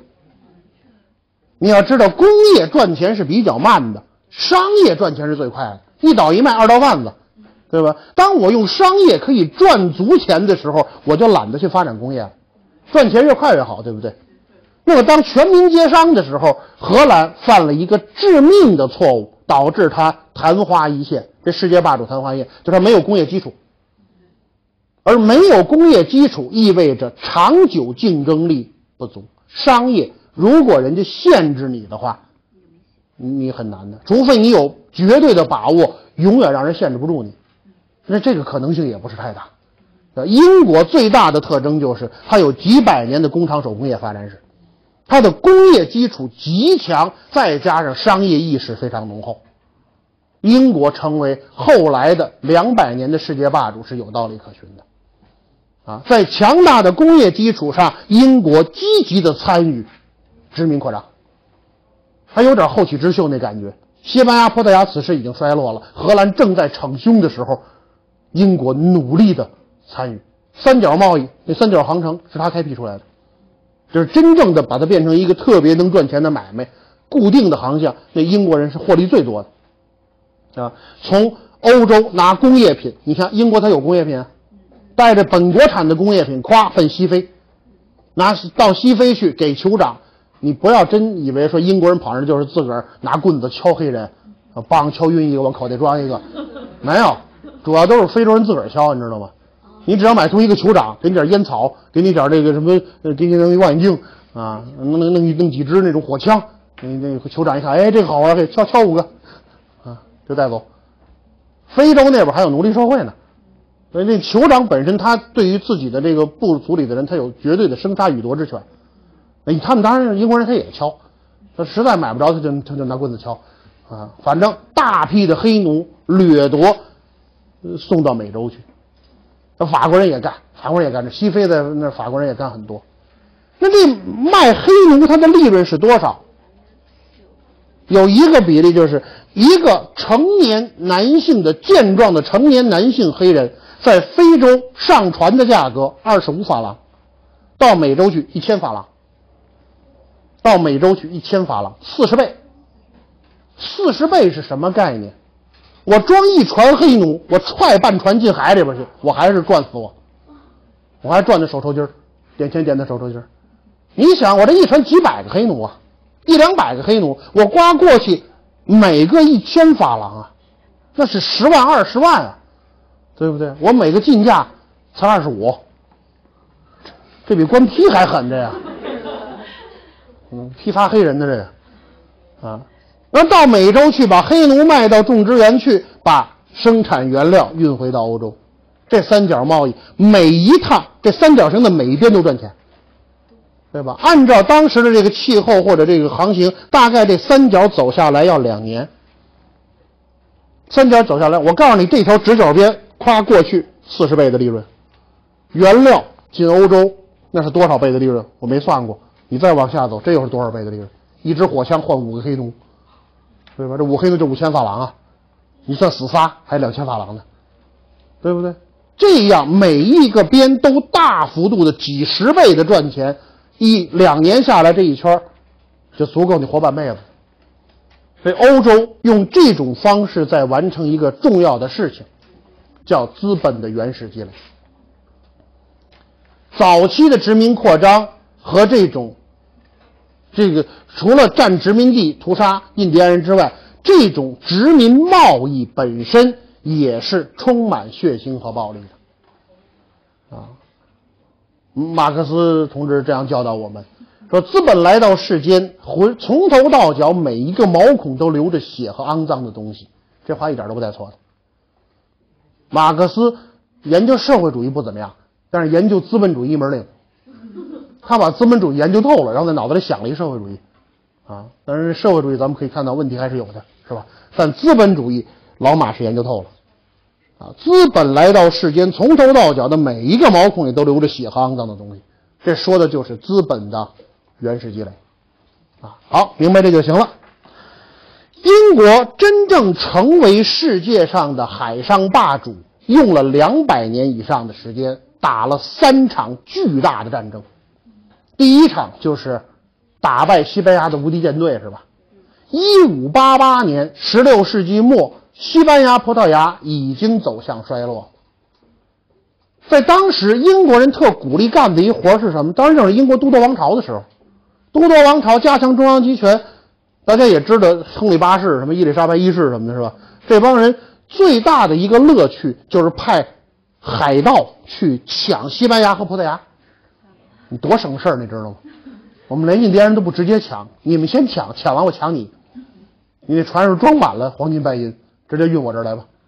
啊，葡萄牙、西班牙非常郁闷，西班牙国王准备教训一下伊丽莎白一世女王，一个小女子，抽你。啊，最后派了无敌舰队来，让英国人打败了。英国人当时没有足够多的巨舰。但是呢，他有很多小船，那海盗船巨灵。伊丽莎白一世女王开创了一个伟大的先例，就是她亲自登上海盗船，给海盗册封爵位，把他变成贵族，知道吗？拿了一口剑，啊，那咔咔噼噗画一十字啊，你你封你为男爵，拿钱来，啊，那海盗特别乐意给他钱，然后当男爵，然后为保卫国家英勇作战，小船。在大船里边穿梭往返，往上扔燃烧瓶什么的，啊，最后把无敌舰队给点了。这一下，西班牙彻底退出历史舞台。但是英国还没有真正成为海上霸主，因为还有荷兰。怎么修理荷兰呢？英国资产阶级革命以后，从克伦威尔开始，连续打了三次英荷战争。没有完全把荷兰打得惨败吧，但是还是取得了一定主动权。最后，英国确立海上霸主的打败的对手是法国。啊，有的书上明确提到说，咱们课本也提到，就是说是这个英法的这个，就是十十八世纪的中叶啊，英法的这个战争，包括像争夺北美的七年战争什么的，说这个法国战败。表示英国拿到了海上霸权。我一直觉得这是有争议的一个说法，请你要记住，如果法国从那会儿就衰落了，那拿破仑是谁呀？对不对？拿破仑虽然在海上最后没有能够打败英国，但是英国可是攒着一帮哥们儿才把拿破仑给捏死的。拿破仑这个人的出现，还可以算是法兰西最后的辉煌。啊，我一般说到一八一五年把拿破仑做掉，这事儿才叫英国最终确立他的海上霸权。但是三个对手西班牙、荷兰、法国，这顺序是不错的。啊，如果说他从十六世纪末打到十九世纪初，这事儿就二百多年了；打到十八世纪中后期，也有两百年的历史。啊，所以这个。海上的争霸，请你要记住，那么它是大英帝国一个重要的支柱。那英国人对海军情有独钟，在飞机发明以前，空军形成以前，海军是一个国家向外扩张的最重要的这种标志。啊，这这个这个英国独霸世界大洋是是有些年头了。那你就可以理解，当郑和下西洋以后，我们砸毁了船只，烧掉了图纸，闭关锁国是吧？海禁加闭关锁国，中国等于是主动退出了海上的争霸。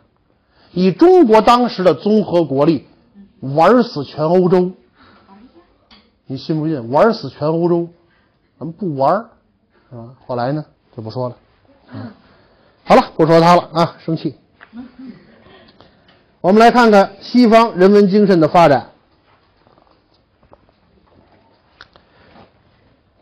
西方人文精神的发展与近代思想的兴起。先说文艺复兴，啊，文艺复兴，那你们的常识用什么语讲比较合适？意大利语对吧？啊，有人会说意大利语吗？有人会一点儿，那算了。你要都都不会就好办了。意大利语文艺复兴怎么说？保证你不会，啊，这词儿我我费了半天劲我才学会的。我我这练这嘟噜练练了练了一多礼拜，啊，Rinascimento，Rinascimento，啊，这舌头你我儿子就不会，滴滴滴滴说说不出来，啊，好多人这这天生的，你不要不要怨天尤人啊，这这生理缺陷没问题啊，你就不适于说拉丁语。啊，啊，这个所有拉丁派的这语都是 ri 的西曼特。哎，你要你要跟将来跟外国人聊天的时候，你成天老说鸡蛋炒西红柿，I can put an tomato 啊，get good 好吃，good taste 啊，人人一看就吃货一个是吧？你跟人家谈的 ri 的西曼特的故事，啊，这太好了啊！我前两天见了一个剑桥大学的招生官，那剑桥大学，你知道英国人都特别傲是吧？那那那那哪都劲儿劲儿的德行呢？我不带理他，后来。底下聊天嘛，一块儿就这这说完了以后，我们聊天。我说我我去过剑桥，我说啊那也也那德行啊，你去过呀？看什么那反反正不阴不阳的吧。完了我说我去寻找一样东西，哎，他立刻眼睛什么？你上剑桥找东西？你找什么？啊？你一般中国人去找什么？徐志摩的《再别康桥》是吧？那多俗啊是吧？我说我去找奥利弗·克伦威尔的头。哇！这一看，这眼睛就瞪起来了。那是教历史的和政和社会学的教授，啊，你去找什么？我说我去了一个叫做 Sydney Success College 的地方，我巡视了半天，我没有找到埋葬克伦威尔头的地方，真是一个遗憾呐！啊，那教授特热情，说来剑桥找我，我带你去，我知道在哪里。你跟他聊这个，他认为你有文化，嗯，你成天老聊那个，别人都聊剩下的，那不管用。对吧我凭这 rena she mento 那打遍天下无人能敌。我在英国伦敦的大英博物馆门口，我准备进去狂逛一天嘛，所以早上在那准备抡圆了吃一顿饭。我兜里又没什么钱，是吧？找意大利餐馆进去，特漂亮一姑娘跟我端着盘子问，用生硬的英语问我你要什么？我跟她我点完菜以后，我告诉我说我只会说一个意大利语单词，叫做 Rinascimento。哇，那姑娘乐的，知道吗？上的菜都比别人好。啊，你要知道这这东西管用，这东西。然后那顿饭盯到下午四点，你知道吗？啊，太太好使了啊！要讲英文的话，这个叫做 Renaissance，啊，怎么拼？Renaissance，啊，我有一个天才的发现，人爱很多在第三册书上。就必修三上，也叫 Renaissance 或者 Renaissance，Renaissance 啊，这词儿你除非你硬盘损坏，一般不会忘了这词怎么拼了啊。你发现它这有一个 R-E 在这儿吧？这就意味着复兴的意思啊。那么 Renaissance 这个词的基本意思就是它是一种，我我就不背那英文的那个解释，它大概的就是一种最重要的人文主义的复兴。我们需要了解的是文艺复兴的指导思想，叫做 humanism。human 大家都知道是吧？就是人呢，humanism 就是人文主义。有很多关于人文主义的误解啊，比如说中国古典的哲学里、思想里有没有人文主义？哎，有，你别说没有，孔孟的都有。孔孟之道讲究仁，对不对？这个人字虽然是人与人的关系，但它的本意是人与人要怎样？要相爱，对不对？仁者爱人嘛，对吧？对人有友爱，仁义礼智信，体现仁。孔尤其孔孟，孔子是尤其不信什么邪邪魔歪道的，呃，子不语怪力乱神嘛，啊，那么他对于人本身的这种肯定，这是人文主义。但是人文主义在，我觉得在汉朝以后，尤其董仲舒这个儒家以后，他给中国儒学加入了一个天在里边，对吧？天就成为压迫人的一个手段，那么人文主义就开始淡化。所以在中国两千年的封建社会的主流里，人文主义的色彩不浓厚。啊，你比如咱们咱们批判过朱子的这个“存天理灭人欲”，对吧？“存天理灭人欲”，说白了就极像这文艺复兴以前的欧洲，对吧？它是一种赎罪说、原罪说，让你丧失掉你的人文主义这个特色，不重视人的利益。人文主义最大的特征就是凡事以人为核心，强调人的利益、人的价值。和人通过理性自我实现的能力，啊，所以这个希望你能够理解啊，人要通过理性来自我实现。同学们现在坐在这儿努力准备高考，其实就是一种通过努力来自我实现的一种一种方式，对吧？你将来要上大学，你要学你想学的专业，去你想去的学校，出来要做你想做的工作。那么你要追求你想要的生活，你想要的生活可能有种种条件，每个人不一样，但是那是你的生活，这一切都是以人为核心的，啊，都是以人，所以这是人文主义的东西。那么意大利成为文艺复兴的发源地，它的条件是什么？它跟其他地方的发展有什么明显的不同？意大利地方咱们提到过，刚才刚提过，宗教是一个宗教，肯定他罗马天主教皇在那儿是吧？那就是一个压迫了。它工商业城市多，对吧？意大利这会儿所谓意大利，它没有一个意大利啊，是一堆意大利啊。什么罗马是一个什么？佛罗伦萨、威尼斯、热那亚，呃，这些都是米兰、都灵，呃，这些都是很重要的工商业城市，啊。那么这些地方，他们的工商业发达，资本主义的水平相对较高，它可以用马克思主义来解释，它是这个思想解放运动的经济基础，对吧？好，明确这个。第二，古代文化的积淀，古文化，意大利上承罗马帝国，对吧？罗马帝国的文化受到希腊的影响很多，所以古希腊、古罗马的文化，咱们算它一波的。你要找古罗马帝国上哪儿找去呢？那就是在意大利，对吧？它是后来的西罗马帝国，啊。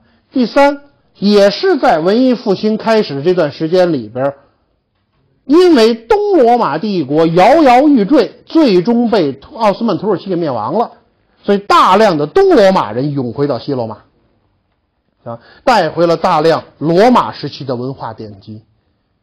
这三个条件中的任何一个都有很强的推动力，三者居然合一了。意大利非是文艺复兴的发源地不可，其他地方都没有这些条件。啊，我们来看看有哪些。比如说，意大利文艺复兴的成就，我们先看文学，是吧？文学首先我们要提的是但丁。啊，但丁这个神曲啊。我承认啊，太难看了，啊，我我我试图读过原文，读了三页，近乎于脑死亡，我读不下去那玩意儿啊。所以，如果有人问你，作为中国的文科生，你读过但丁的《神曲》吗？没有，这太太丢人了，这个是吧？你得告诉他，哎呀，意大利文都没读过。点点点点点点，你们想去吧。其他的四十几种文字的，我大概也没读过，有的时候耍一点小滑头是吧？但是你要看《神曲》的大概的这个故事，还是能看出来的吧？我们做一个简单的分析啊。但丁这个人呢，出生于佛罗伦萨的贵族世家，出身高贵，在政治上也有自己的热情，也投入了巨大的这种努力，也成就了很高的地位。他曾经是佛罗伦萨的几个。是三个还是四个大的执政官之一？换言之，已经达到了这个城邦。这其实佛罗伦萨就是一国家，你知道吗？就是准国王的这种水平了，就达到了一个最高统治者的地步。但是在出国访问期间被做掉了，被政敌发动政变推翻了，而且政敌宣布他是佛罗伦萨的耻辱，如果回来就要治罪，那他终生没有再回到自己的故土。所以政治在政治上是个失意者。一般人说吧，这赌场要是失意，情场就得意，是吧？哎，这但丁是点背太郎，超级点背，情场也失意，从小就热恋一个一个漂亮美眉啊，人家就不理他啊，后来人家就更不理他了，是吧？啊，那那姑娘后来嫁给一富商，然后二十五岁就死了。啊，所以这但丁呢，虽然自己也结婚了，也有孩子，但是一生悄悄的热恋着那个姑娘。啊，谁说痴心女子负心汉？像但丁这样的老爷们儿，差不离的也可以嫁，是吧？啊，你们要见着了别放过，这种人不多了啊。但丁这一辈子游走啊，政治上完蛋了，婚姻上也完蛋了，就剩写诗还行了，啊，终于在文学上成了一代宗师的地位。恩格斯评价他是中世纪的最后一位诗人和新时期的第一位诗人。你要把这评价一看，你就知道这转折点的地位了。我们看他的作品怎么转折，他把，请你记住啊，他把自己描绘为一个鬼魂，啊，在古罗马诗人维吉尔的带领下，在地狱、炼狱和天堂之间游走。啊，那么他先到地狱，地狱一共分九层。每层住着不同罪过的人，呃，不不是不最底下不是教皇，最底下是犹大，就是叛卖基督耶稣那个，所以所有的叛卖亲人和师长的都进最底下那个，将来出去不许说我坏话，否则进去，啊，被打入九层地狱，十八层不是中国中国多一倍，中国人口多，啊，中国需要比较大的地狱空间是吧？啊，人家人家欧洲九层就够了啊。第九层有有这坏人，你说那个教皇头朝下给插在那个那路边然后把后脚跟点着当路灯那个，啊，这这个都是他干的，那是在第八层地狱里，啊，这每一层都有。我我点几个名你们听听，其实都是历史上挺有名的人物，他都给搁地狱里头了。但是第一层就是最浅最上面那个罪过最轻的那层，不受任何的刑罚的那层那层安详地狱里。有一堆人，但丁遇上的有谁呢？毕达哥拉斯、苏格拉底、柏拉图、亚里士多德，咱第一课讲的全在里头呢。啊，合合着我这古古希腊、古罗马篇讲的是但丁神曲的地狱第一层，啊，还有什么？包括那个什么希波克拉底，大家知道这是人吗？不知道，学医的人都知道，那是古希腊的一位医生。啊，希波克拉底一般他们就西西方医学界到医学院的学生考进去要要宣一个誓，叫希波克拉底之誓，就是从古希腊就有这传统。啊，这些人都搁第一层了。我一般我会问，就为什么把你说这都挺好人是吧？这这搁地狱里头了，为什么？你能想出来为什么吗？哎，他不废话，他活得比上帝早啊。他比基督耶稣早好几百年呢，哦，因为他们没有德行见上帝见基督，所以他们不能过炼狱，不能进天堂，只好下地狱。但丁很喜欢他们，很尊敬他们，搁第一层不受罪，反映了但丁的什么？但丁把自己很喜爱的这些人，很尊敬的这些。古代的先贤们搁在地狱第一层，尽自己最大能力让他们免于受苦，是吧？但还是在地狱里边，万事不得超生。说明但丁是一个虔诚的信上帝的人，他是基督徒、天主徒，这不好说。但是呢，他是信上帝的人，所以他把上帝的这个信仰放在最前面。啊，炼狱里边分七层，这地狱啊是一漏斗，你知道吗？第一层最大，越往下越小，就是坏人越来越少，是吧？那第一地狱是一大漏斗，到尖儿这，穿过这漏斗，噌，那边就是一反漏斗，那反漏斗就是就是炼狱，炼狱分七层，每一层是一种罪过，什么贪婪呀，什么傲慢呀，呃，贪贪吃啊，乱七八糟你知道一电影叫《七宗罪》吗？对啊，是。七宗罪是一个一恐怖片那就是一个极端的原教旨主义者，按照这七宗罪杀人。啊，你你回去有机会，等高考完了，闲着没事干这仨月，是吧？天天看恐怖片玩。一上大学进宿舍第一晚上，我给你聊聊鬼故事，啊，吓死他们啊！你将来到大学里边看一帮外地学生，都属于走路拐直角的那种，啊，你给他讲俩鬼故事，然后你炫耀的说这是我在高考之前看的，他们会很佩服你，你知道吗？我高考之前干嘛来着？一九九零年意大利世界杯。高考之前，那会儿高考不是六月七号八号，那是七月七八九啊。我当时实在不行，我我我忍着，我忍着，我看了二十多场，啊，一共五十来场，我看了二十多场啊，嗯，没办法，实在不行。我这人看世界杯特倒霉，你看我从八十年代开始看世界杯，墨西哥世界杯我夜里看，对吧？意大利世界杯我夜里看，九四年美国世界杯我夜里看，九八年法国世界杯我夜里看，二零零二年韩国日本世界杯。我在加拿大呢，我夜里看，我骂尔街，我我我到现在还没白天看过世界杯呢，你知道吗？气死我了！啊，九零年我看了二十多场世界杯，啊，这这这个这这这这是必须要看的啊！我就教你们坏是吧？你们今年没什么大事儿是不是？今年有欧洲杯啊？那个比世界杯还好看，啊，千万别看啊！我说了啊，千万别看啊！这是一个一个一个教训啊！我要我要不看世界杯，我我也许早就上北大了啊！可惜呢，后来就当老师了啊。好，我们来看看但丁，他把各路的这种古人、现代人啊，按照自个儿的这种判断给搁到不同地方，他把他那初恋情人给搁到天堂了。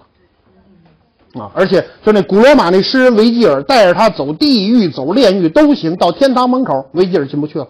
维吉尔也是公元前的人，凡是没见过基督耶稣都进不去，对吧？全全在后边待着，啊！然后到天堂门口，他那个初恋情人来接他。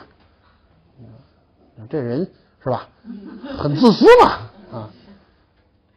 他，你你想，谁才有权利决定这人死了以后搁哪儿？上帝。但丁整个这本《神曲》就四个字我是上帝。”服不服？我是上帝。我可以做上帝做的事情，人可以做神才能做的事情。这人是不是够神的了？看出人文主义来了没有？哎，就这么看。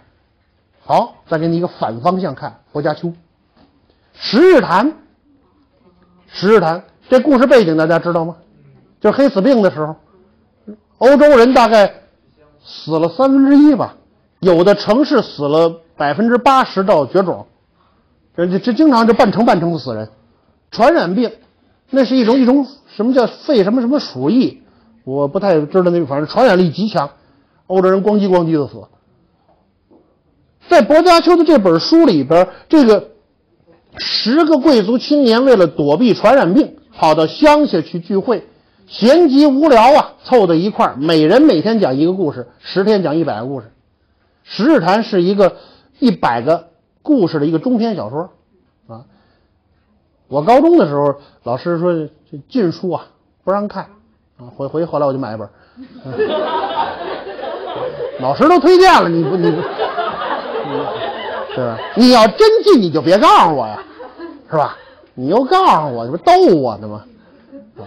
学文科的，大家要知道啊，学文科的人呢，雪夜闭门读禁书，乃人生之一大乐事也，知道吧？现在不兴在家里生火了，是吧？原来就是生一大火盆，旺旺的，把门关好了，四下无人，床底下蹬出来，哎，毛选，资本论，啊，论无产阶级共产主义运动中的左派幼稚病。啊，谁没事就看这玩意儿？啊，雪夜闭门读禁书，绝对是一个乐事啊！所以同学们，我知道现代人，你跟我这这老帮菜不一样了。我小时候那是看书泡大的，你们现在是玩 iPad、玩玩互联网玩大的啊！网上的东西再好，还是看原著好啊，我可以给你们提个醒，就我现在带的这个班里边，一般的我们的外教老师留英文阅读啊，光留一本英文小说，读两句读不下去就找中文翻译版去了，连中文翻译版都懒得读，直接看豆瓣上的书评，知道吗？这个这个绝对不是一个正路啊，请你记住，绝对不是一个正路，还是要多读原点啊。那么，在当时这个薄伽丘写这本书的时候，这个坦白的这一百多个故事抡圆了骂教会。你看吧，反正从教皇开始骂，骂到书记主教，骂到各级教士，骂到最底层的修道院院长、修女，反正无一不是贪婪、自私、愚蠢、肮脏、卑鄙、下流、淫秽。你你想吧，为什么成禁书了？你知道吗？就是此处删去一千五百字，并不是太多啊，抡圆了骂教会，那可这教会给骂的也太惨了。好，你如果看到神曲，你发现人可以做上帝的事儿，对不对？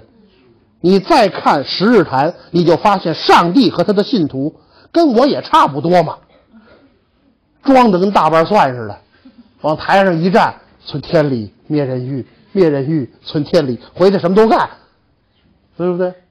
这个也极大的唤醒了欧洲民众，原来你们这样啊，那我也可以那样啊，是吧？是是想法就飞奔了就，啊，这两本书异曲而同工，目的是一个，人等于神。甭管怎么理解，你说神好，那人也好；你说你说人不好，那神也不好。反正人等于神，甭跟我面前跳大神儿啊！这教会恨这帮人恨得要死。那彼得拉克是干嘛的呢？外号叫欧洲人文主义之父啊。他写诗，他是个诗人啊，人文主义写写进诗里边去了。其中有一首诗，我我没我没没有全背那全文，大概的意思就是是一傻孩子。一男男生看见一漂亮姑娘，肾上腺素分泌加剧，歘，脸红脖子粗，瞪人不走眼，噔噔噔噔噔，心心跳加速，啊，想跟人家说一声那句话，又不敢，就这样，就写了一首诗，啊，这诗算什么呀？这诗算什么呀？哦，这就是人文主义之父。那我初中写的就人文主义他大爷了。我比你比他写的，是吧？删删去字数多多了，啊！你别忘，人家什么时候？你写那玩意儿，让教导主任抓着，顶多就是诫勉谈话，最多就是把你爹你妈叫来，然后今夜有暴风雪，男女混合双打，是吧？到头了，是不是？在那个年代写这玩意儿，死了死了丢，那真是有可能直接送上火刑柱的，因为你居然敢写人类对爱情的憧憬，那是多么荒诞的事情！难道你不知道人类有原罪吗？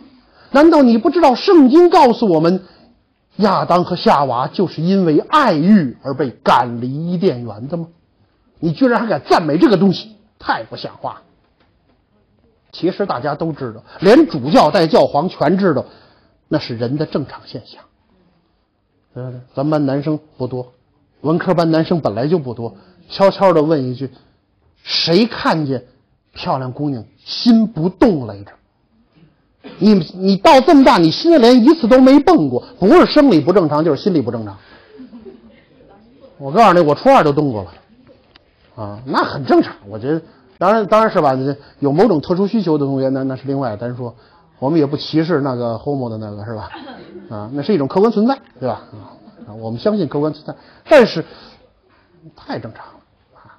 哎，不不用害羞，公开的说没问题啊。四中最近又出一档子事，儿学生处规定，新年舞会必须找到异性舞伴才许进去，不找到异性舞伴不许进。所以现在我们这高一小孩都疯了，你知道吗？成天约会，有舞伴了啊！我们一般我们也很宽容的看，你看卖出去没有？啊，还没卖出去呢，要不要帮你找一个？没什么了不起的啊！你越是能够看淡它，它就越没什么了不起的这叫文艺文学三杰是吧？艺术三杰大家也知道是谁了达芬奇、达芬奇、拉斐尔、米开朗基罗。我这没画，我没法说。你比如说达芬奇那个《最后的晚餐》，是个神话画、宗教画、圣经画，对吧？但是里面非常明确的显示了一个信息，就是所有这些神圣的使徒们，他们在知道自己的老师将要被出卖的时候，那种惊愕的表现，每个人都跟活了一样，对吧？那是一个人间的一种感觉。最典型就是拉斐尔的那个西斯汀圣母。我一说这名，你们有印象吗？有。西斯汀圣母大概就是在绘画的中部是一个圣母，怀里抱着基督耶稣。这边是一个是教皇来迎接这个圣主，这边有一个侍女，底下脚踩祥云，底下有俩小天使。那俩小天使就是拉斐尔他们家对面面包房那个面包师的俩儿子，长得跟俩肉球似的，就你能在他身上看出水来，你知道吗？滴答欲滴那种感觉，俩小肥膘，天天在拉斐尔这画室里头滚呐晃，喜欢的不得了，一人安一小翅膀搁画里头。啊，中间那圣母面色忧郁，抱着这个圣子是这个姿势抱的，给你。他知道这孩子不是我的，这孩子是上帝的，是上帝为了拯救人类的罪过而把他的孩子献出去。圣母知道这个孩子将来一定要被钉死在十字架上，圣母知道这个孩子将用他的鲜血洗清人类的罪恶。圣母也知道，在被钉死以后三天，他将复活，但是他不将不会回到人间，他将回到天堂与天父在一起。圣母全知道，但是给不给？你看这孩子这给的姿势，左手托着那肉球似的，基督耶稣也跟肉球似的，托着那小屁股，右手扣在基督耶稣的腋下，给你，给你。给你，只要有机会，我抱着就跑啊！我给你，呸！我凭什么给你？你要能把这感觉看着，真想给怎么给？扔过去，嗯，逼着腿，嗯，在摔墙上摔两下，有的是方法。刘备摔孩子的时候，咕噜的还让往地下扔呢，是吧？你得出了手，才叫真给，这叫给啊！你得看画，你得看出这个意思来。他知道这个孩子是有神圣使命的，他要做一件伟大、光荣而且永远正确的事情。世界上的基督徒将紧密团结在以他为核心，那也不给。你们现在这年龄不懂，不养儿不知父母恩呢。现在你们这十七八岁正是白眼狼的时候。你妈说你什么对你好，东西多穿件衣裳，你烦不烦呢？我知道穿多少衣裳，你管我上哪儿？就净这个，将来你们真当了父母，你就懂得了。你看着那孩子的时候，你就觉得我天哪，这玩意儿怎么这么可爱？这玩意儿，你愿意为他付出你的生命的。如果你你现在你回去问问你妈去，比如说，说说这台湾要统一了，马英九开出价来了，只要把你摔死，台湾就回归。那校长给你妈打电话，说中央来电了，咱们现在统一台湾的最好时机到了，你自便吧。你妈能拉着你上山当白毛女去，爱谁谁。你们闺女怎么不摔死？凭什么摔死我们家丫头？嗯，我才不要台湾统一呢，跟我关我屁事。所有当妈的都这样。啊，所有当妈的都这样，这是人的本性。你成天这拿着摄像机跟那找英雄的母亲，英雄的母亲应该是孩子啊，去打敌人吧。我说献你献成你献出去，你死掉是多么光荣的事情啊！没心没肺的呀！啊，那咱们塑造的英雄经常是没有人性的。哎，这个，请你注意，将来你要拍片子的时候，不要老渲染这一面，这面基本也都是假的。人文主义就是要以人的利益为核心，要体现人的价值。不管是文学三杰还是艺术三杰，基本上都有这个意思。啊，大家应该也看过米开朗基罗的这个《大卫》吧？一个健美、阳刚健美的青年男性的裸体像，是吧？我原来把那照片图片打出来的时候，哎，老教师告诉我，咱弄一半身像行不行？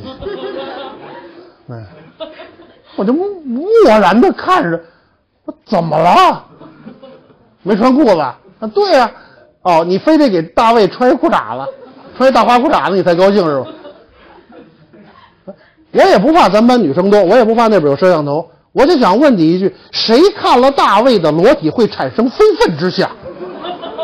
你也忒肮脏了吧你？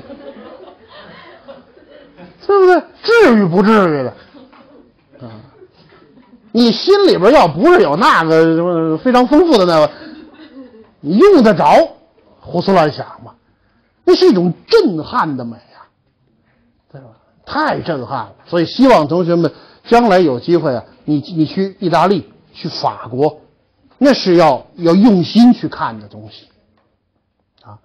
当然，有些东西可能嗯比你想象的要差很多，比如蒙娜丽莎。蒙娜丽莎其实比你想象的那特别小，老远看又又又被封在那个嗯这防弹玻璃里头。啊，基本上你老远看前面一万多人看着，啊，运气好的前面四千多人，啊，你看老远看跟邮票似的那么大，啊，特别小，但是呢，用心去看吧，啊，比如说去卢浮宫，你要真想去的话，呃，你不你永远不能参加，我原来说过不能参加那种什么十十日八国的旅游团是吧？上车上车睡觉，下车撒尿，到处拍照，回来一问哪儿都不知道那个。卢浮宫四个钟头，卢浮宫俩钟头，那骂街呢吗？卢浮宫半个月差不多，啊，卢浮宫半个月，啊，我现在是尽我所能，我每到一处看博物馆，我我我我我努力看一天吧，对吧？所以这次我去纽约，因为没有一整天的时间，所以大都会我不去，我不糟践，我下回再去，啊，大都会博物馆你不泡个几天，我泡一天已经是很很亵渎神灵的事情了，你知道吗？啊，所以希望同学们要知道，将来到欧洲去，踏踏实实的去旅行，而不是去去旅游。你跟着团旅游，还得经常逛什么老佛爷百货商店，买两欧元一瓶的厕所用香水什么的，啊，千万别别干那事儿。中国买东西什么都有，啊，什么都有，厕所香水尤其有，有的是。好，文艺复兴。通过文学艺术来进行这种人文主义的宣扬和传播，对吧？他反对的主要是谁？他反对的主要是天主教的神权统治，反对的是对人的这种精神的统治和肉体的控制，比如说禁欲，对吧？比如说对人的这种原罪的这种说法。比如说说说基督教神圣不可侵犯这些东西，那么他所反对的东西，所揭示或者所弘扬的这种理念，其实都是以尘俗的、就世俗的人的这些利益为为核心的。哦，我问你一句啊，殖民扩张、屠杀印第安人，算人文主义吗？这这就特特狠是吧？特小刺拉是吧？算人文主义不算？算吗？算。他是他是满足人的意愿是吧？我得活得好是吧？那我现在对你人文一下，我拿刀把你剁了，然后我肯定活得更更好一些。他杀的是人，他当然不是人文主义。他们的解释是什么呢？那些人不是上帝的信徒。所以不当人看，明白吗？所以他认为那是野蛮人的，根本就不是人。我杀的根本就不是人，是动物。他是从这个角度解释说，我这也叫人文主义，但实际上这是一种狡辩。往回退一步，我成天想着发财，我成天想着挣钱，我成天想着晚上点钱点的手抽筋儿，是人文主义吗？是。所以反过来说，人文主义里包括拜金主义，对吗？好，原来考过这种题。十六世纪的时候，英国的戏剧里演着说“钱能通神，一切都能够用钱买到”，这是人文主义精神体现吗？是，是。那人文主义就不像我们想象的那样纯洁无瑕了，是吧？它的主流是好的还是不好的？特别是在这个中世纪的背景下，神对于人、对于人性有着绝对压迫的情况下，那么人文主义的复兴极大的推动了思想的解放和人类社会的进步。但是它里边有一些问题，比如说我们书上现在不讲了，原来特别常提意大利的一个哥们儿叫马基亚维利。马基亚维利开创了一个马基亚维利主义，简单说什么意思呢？为达目的不择手段。他写了一本书叫《君主论》，鼓吹意大利应该统一，应该建立中央集权国家，应该对外侵略扩张，应该杀掉敌人，用不择手段的方法干掉别人，实现自己的这种人生梦想。马基亚维利主义后来特别流行，直到现在，其实在中国也挺流行的。可能你们不知道这词儿，就是马基亚维利主义，就是只要我达到目的，我可以不择手段的。我想跟同学们讲，就是咱们讲课讲这个必修一最后那段，也多少提一点恐怖主义，是吧？恐怖主义基本的指导思想就是马基亚维利主义。恐怖主义者最想干的事儿是什么？是让，比如像美国这样的国家，我要让你妥协，对吧？我为了让你妥协，我不惜杀害平民，因为你，因为恐怖主义者知道，我不在乎你的平民生活，而你在乎，对不对？你过来反过来炸死我多少平民，我也不在乎。伊拉克人死人比美国死人死多多多少啊？我不在乎。阿富汗人无所谓，对不对？这个恐怖主义者、塔利班这些人，他们是无所谓，他不在乎平民的死亡，但是他知道美国政府在。索马里海盗，他为什么能够能够绑一船人然后要钱啊？他知道对方是看重人的这种地位的，对吧？在这种时候，用这种极端手段去达到自己的目的，无论是政治目的。思想的目的，或者宗教的目的，还是经济的目的，都是不可取的。有同学可能会问我，就是如果弱者需要反抗强者，美国那么强大，我们没有办法去去把他的总统干掉，把他的国防部长干掉，是吧？那我干掉他俩平民怎么了？我是弱者，他是强者，我用恐怖主义的方法去去打击他，让他难受一下，我不得已而为之，因为美国也就这么对待我们呀。我一个学生就这么问过我，后来我给他的回答是：我不知道我应该干什么，但我知道我不应该干什么。有些事儿是不能干的。所有对平民的这种恶意的侵犯都是不可接受的。冤有头债有主，谁犯的罪你找谁去。一个现代文明的社会是不允许滥杀无辜的。所以我个人对恐怖主义有一个基本的评，我觉得那就是马基亚维利主义的一个极端体现。很坦白的说，就是现在中国社会可能这种人也挺多。只要我发财，只要我过得好，他能连亲妈都卖了啊！这种社会不是一个好的社会啊！我们看很多很多的这种负面的东西的时候，你要秉承一个最基本的理念的一个判断，就是。我们不能无所不用其极，我们总是要有一定底，人是要有底线的。我们把意大利文艺复兴基本就说到这儿啊，请大家记住，人文主义不全是好的，总体是非常好的东西，但它里面是有问题的。那这个问题用什么东西来修正？后面我们会讲启蒙运动啊。好，宗教改革。还有五分钟的时间，我们简单把宗教改革的背景说一说吧。说到宗教改革，我们先得简单串一串，这世界上有多少个大宗教是信上帝的？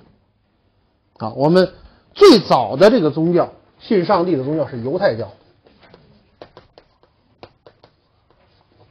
犹太教，犹太教有一部圣经叫旧约，是吧？很简单，犹太教犹太人啊，相信。上帝在创造这个世界以后啊，对人类越来越堕落、越来越肮脏感到失望，上帝最后是要毁灭这个世界的。但是呢，他对于这个犹太人情有独钟，所以他跟犹太人有一个约定，就是你们是我的选民，在世界末日到来之时，我将带领你们走到天堂去，其他地方我要毁灭。犹太人一直有这么一种种族的优越感，我们是上帝的选民，啊，这个宗教的信仰支撑这个非常悲催的民族，是吧？艰难的走过了两千多年，两千年以来，犹太人没有国家，到处受迫害，但是犹太民族的这个灵魂没有散。我请你注意，犹太人在近代以来所贡献的这种，这这个成就太多了，是吧？哎，确实聪明，那确实太聪明，啊，我我觉得值得我们去好好的去去琢磨琢磨这事儿。有人说犹太人世界第一聪明，中国人第二聪明，啊，反正这事儿跟人套词还还好使。啊，真拼的话不一定，啊，犹太人确实太厉害啊。那么犹太教，你也可以很清楚的看到它的一个缺陷，就这玩意儿你不能信，你信了你就完了，因为上帝只救犹太人，你又不是犹太人，你不信吧还有点盼头。上帝也许还救我，你要信了，你就直接奔下边去吧。你找一层自个儿找一座坐上就完了，旁边就是那教皇倒是插着那，反正你是没希望上天堂了。那你可以这么说，犹太教是个什么什么主义的宗教？有点种族主义吧，民族主义或者种族主义是吧？且不说它对还是不对啊，我们无神论者相信它不对是吧？不管它对不对，这玩意儿它传不开，你知道吗？对不对？它传不开，只能在犹太人内部传。它可以极为有力的使犹太人团结在一起，但是使别人更加恨你。基督耶稣也是犹太人，圣母玛利亚也是犹太人。那么这对犹太母子怎么创出一新教来？叫基督教是吧？有一种传说呀，就是圣母玛利亚实际上，是吧？发生了某些特别的事情，然后嗯。就就起来了，是吧？这肚子一起来，这怎么办呢？这在犹太教里是要被处死的。这失去贞洁的妇女是要被干掉的，用石头砸死，跟跟阿拉伯的某些这个教律是一样的，是吧？所以，为了保护自己和腹中胎儿的生命，玛利亚说：“这是上帝的。”完，这玩意儿太吓人了，你知道吗？这玩意儿太吓人了，这。这犹太人在砸的时候也得想想，我万一他是真的呢，对吧？这上帝明儿不把我们家点了啊！所以保护了他自己的生命。而这事儿传出来以后呢，就成为一个很要命的事情。犹太人实际上是坚决不信基督耶稣的，明白吗？那你十二月二十五，咱马上过圣诞节是吧？你跑去跟犹太人说 “Merry Christmas”，招揍你！我跟你说，你们家 Christmas 不承认这玩意儿。啊，基督耶稣的诞生是基督教开创的标志啊！实际上，他是从犹太教里分出来的。他怎么招人信呢？他就得招那些不是犹太人的信，是吧？他就提出来说：“上帝后来又后悔了，犹太人也堕落了，你知道吗？上帝人特后悔跟他们签了这个约。”虽然那个旧约也是真的，但是上帝后来改主意了，又重新跟我们签了个约。他重新跟人类签的新约里边，派他的独生子来到人间，信仰基督者即可得救，带给了世界其他的人类以光明。明白？你们这些倒霉孩子，非犹太人，如今有了主人，基督耶稣在召唤着你们。他最起码传得开，是不是？罗马人后来来了，基督教开始是是是邪教，你知道吗？跟法轮功一待遇是吧？那基督耶稣也给钉死了啊！最后的结果，罗马人是一个信多神崇拜的，信多神崇拜，他就在思想信仰上很难统一。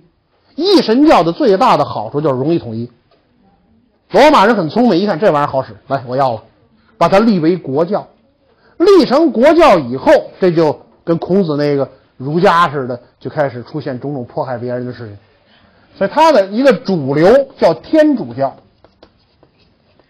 天主教信基督，信圣母，啊，信圣母。而从天主教当中分出一支来，就是我们叫它新教，叫新教。这个新教实际上就是今天我们叫它的基督教，啊，当然这还有一支叫东正教。东正教就是罗马帝国分裂的时候跑到东边去那帮，啊，现在的俄罗斯、希腊、东欧啊，很有很有力量，力量确实很强大，连共产主义都没干掉他。那苏联存在那么些年，东正教没死，啊，多多厉害这玩意儿！我们其实要讲的实际上，就是从天主教分出来的这新教的这部分，啊，下周我们再说。